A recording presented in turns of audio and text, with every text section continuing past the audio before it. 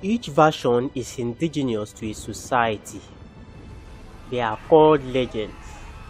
They are called myths. Some call them fable.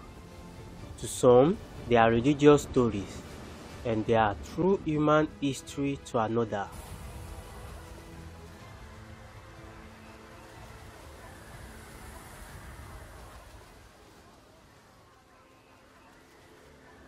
The title, The Great Flood, is a story mostly used to tell about the Hebrew flood story from the book of Genesis, where God decided to return the universe to its pre-creation state of watery chaos and remake it through a small group of people who survived it by living on Noah's Ark for around 370 days. Most ancient civilizations, which includes Mesopotamia, Babylonia, Greek, Egypt, Kwaya, Yoruba, and many others talk about a time in human history shortly after creation when a great flood was sent by a god to destroy earth and only few humans managed to survive. And while people have tried to fault different flood stories by either tagging them an allegory of different catastrophic events or myths. Others think they did happen, just that the stories had become faulty and has variations as a result of it being told by different generations or some other reasons. For example, in the Babylonians' Great Flood story, the supreme god became fed up of the noises you humans make. So he planned on destroying mankind with flood. Another god, Enki, warned Atrahasis, who happened to be a good man, of an impending flood and instructed him to build an ark. The rest of the story went like that of Noah in the Hebrew version. Please note that the Babylonians has different versions of this story. In an account of the Greeks, Zeus was displeased with the human population because they had sacrificed the boy to him. He told Deucalion, the son of Prometheus, to construct an ark for himself and his wife. And there was nine days of flooding. The world was destroyed and the ark rested on top of Mount Parnassus.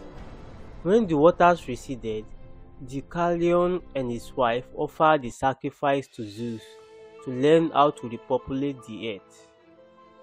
All of these stories have some things in common and they include that humans sinned, there was flooding, the ark, the ark rested on the mountain and there was a sacrifice.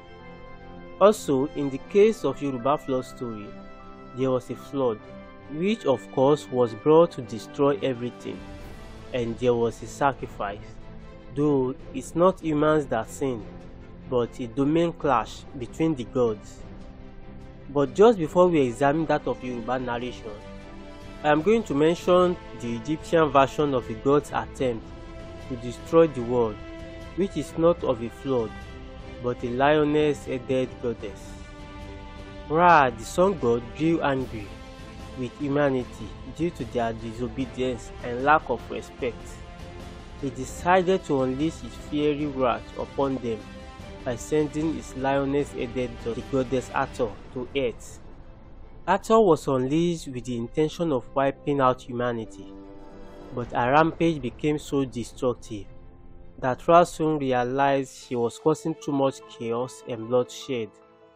In order to prevent her from completely annihilating mankind, Ra devised a plan to stop Hathor's rampage by mixing beer with wine to create a red liquid that resembled blood.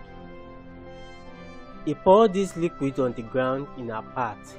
As Hathor slept, Ra used his cunning to find a way to bring her back he instructed his followers to gather large quantities of beer and mix it with red wine to create more blood-like substance.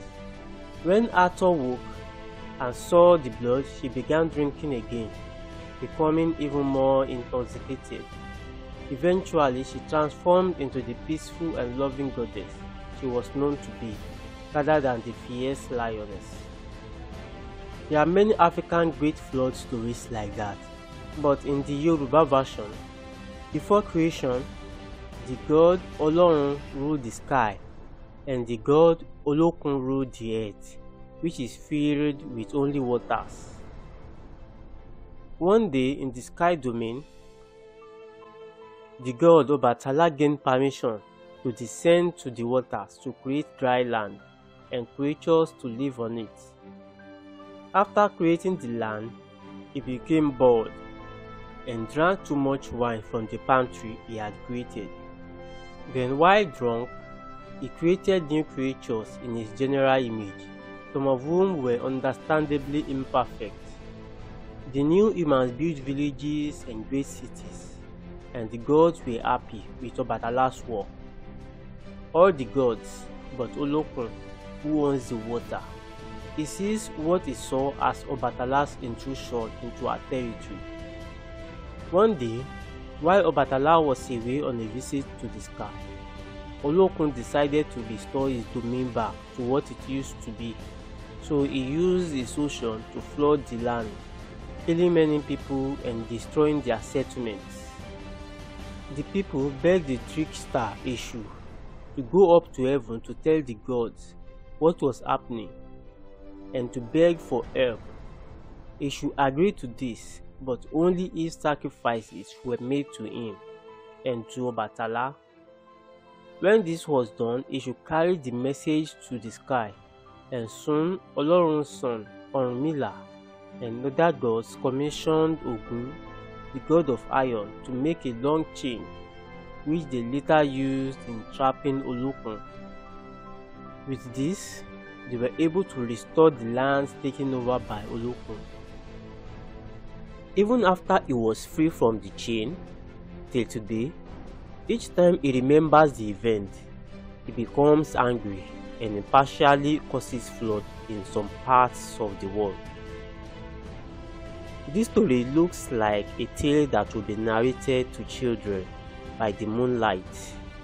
But the truth is, if there has never been a flood that almost destroyed everything, could it be a coincidence that most cultures of the world have something like this to say?